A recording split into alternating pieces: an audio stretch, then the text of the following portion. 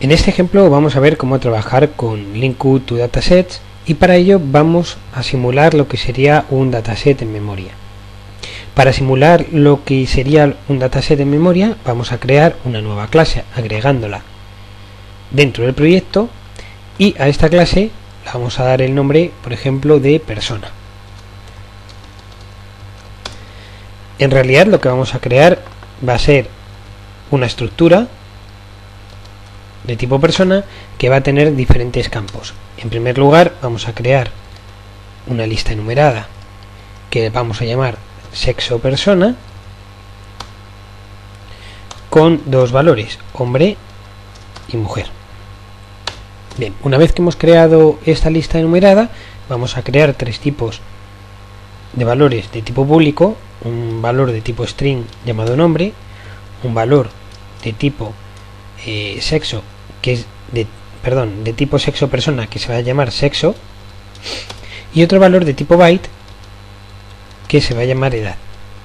Bien una vez que tenemos ya nuestra estructura creada vamos a ir a lo que es el código de la aplicación y bueno aprovechando el evento load lo podríamos hacer agregando un control al formulario etcétera pero vamos a hacerlo sencillo y dentro del evento load vamos a empezar a programar la parte de programación que consistiría en alimentar esa estructura, crear una lista de acuerdo a la estructura y luego volcar esos datos de creación en un dataset y por último consumir ese dataset por medio del link para extraer los datos en pantalla en una caja de mensaje. Por lo tanto, la primera acción va a ser crear una lista que vamos a llamar lista persona lista de nombre de personas. Y vamos a crear esta lista.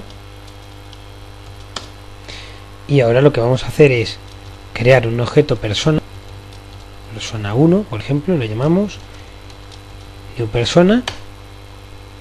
Y lo que vamos a hacer ahora es ir creando los elementos. Por ejemplo nombre Pedro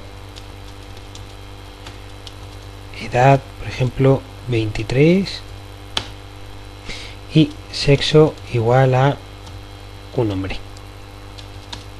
Y finalmente lo que vamos a hacer es lista personas con el método add añadimos este objeto.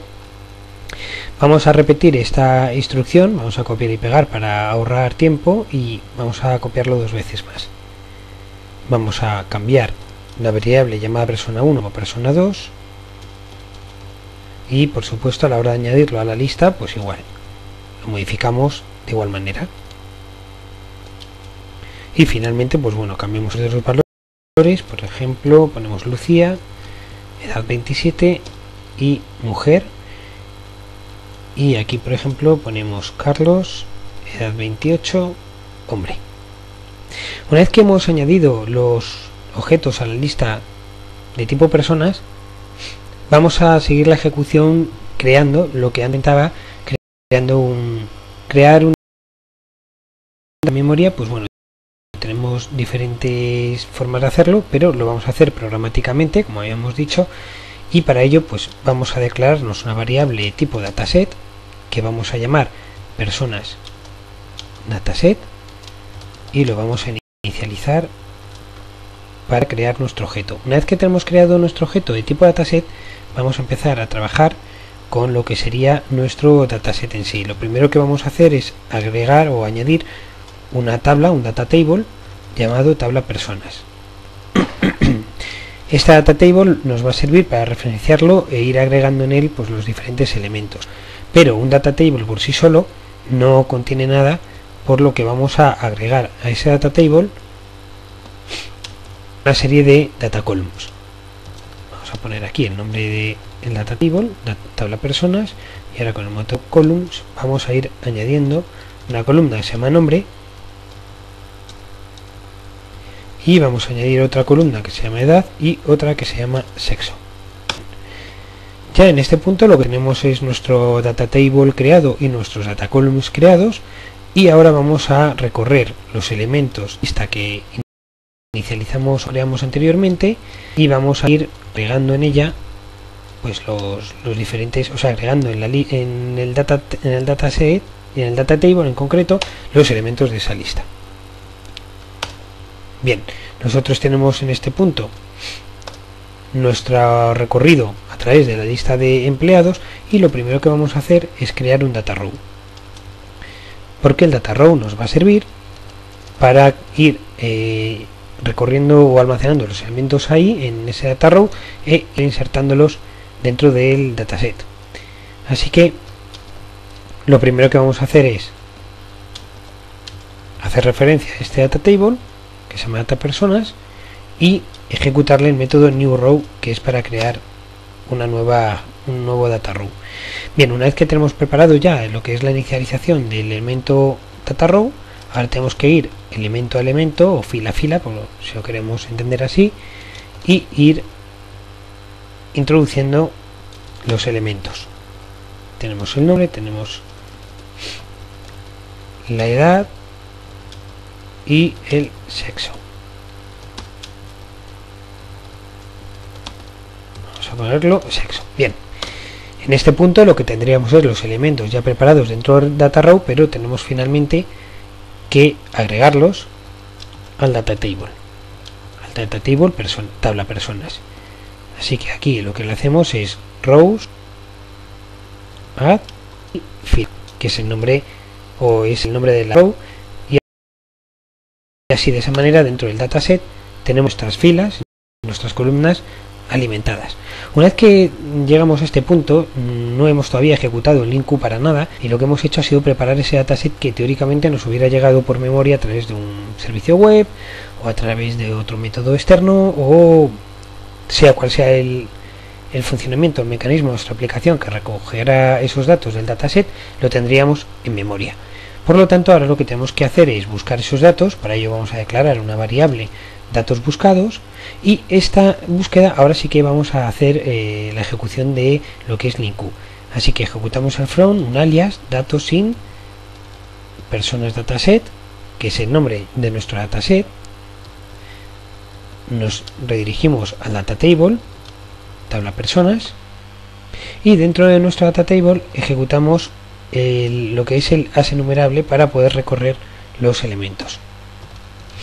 Y ejecutamos un where y hacemos una conversión y hacemos una conversión a entero de lo que sería eh, el valor del campo edad que no es un valor eh, propiamente entero por lo tanto lo que hacemos es convertirlo entero para poder valorar si el campo es mayor que 25 entonces, en este punto lo que hará linku es extraernos los datos cuya edad es mayor que 25 ¿Y qué datos nos va a extraer? Pues aquí es donde ejecutamos el select new y declaramos lo que son la extracción de los datos, por ejemplo, una variable llamada nombre, de donde voy a sacar un valor que convierto a string y que corresponde con el campo nombre, que en este caso, bueno, coincide el mismo nombre, valga la redundancia, pero podríamos haber variado ese nombre como hubiéramos querido. Luego también declaro una variable llamada flag sexo a la que accedo también a su campo sexo y simplemente lo que le quiero preguntar sobre ese campo es si es igual a hombre voy a poner aquí el paréntesis si es igual a hombre que nos dé un true y si es igual a, mujer, vamos, que no es hombre, que nos devuelva un false. Además del flag sexo, vamos a sacar, también a extraer lo que sería el valor de, del sexo y para ello, pues bueno, básicamente lo que debemos sacar es la variable sexo. Bien, en este punto lo que tenemos es que a través del incu nos va a devolver el nombre un flag sobre el sexo, si es hombre o no, y el sexo eh, de la persona. Es decir, nos va a devolver, por ejemplo, Pedro, true, porque va a ser hombre, y después hombre. O sea, Pedro, true, hombre. Sería un poco lo que nos devolvería, por ejemplo, una, una instrucción de este tipo.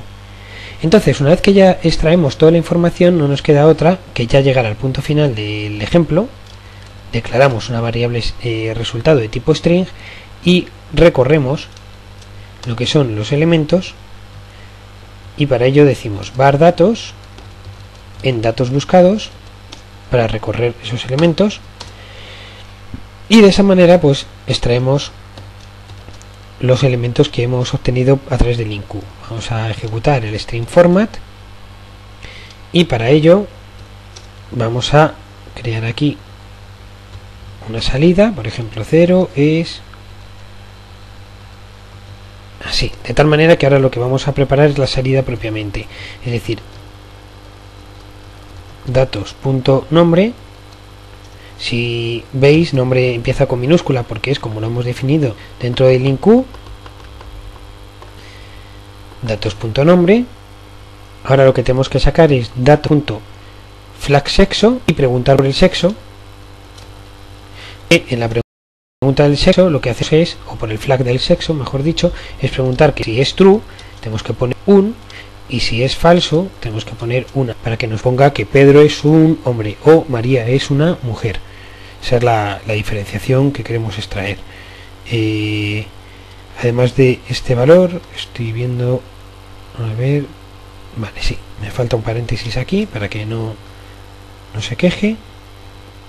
Y finalmente lo que tenemos que extraer es dato, datos.sexo y esto acto de, de KT mostrar el resultado por salida. Es decir, lo que estamos haciendo es crear una lista de personas, introducir en esa lista diferentes elementos, luego crear un tres columnas, nombre, edad y sexo, correr lista de personas que teníamos y alimentar en el dataset los elementos de esa lista, ejecutar una instrucción de elementos recorrer los elementos y mostrarlos en pantalla. Dando este ejemplo nos da un pequeño error porque efectivamente nos está indicando que hay un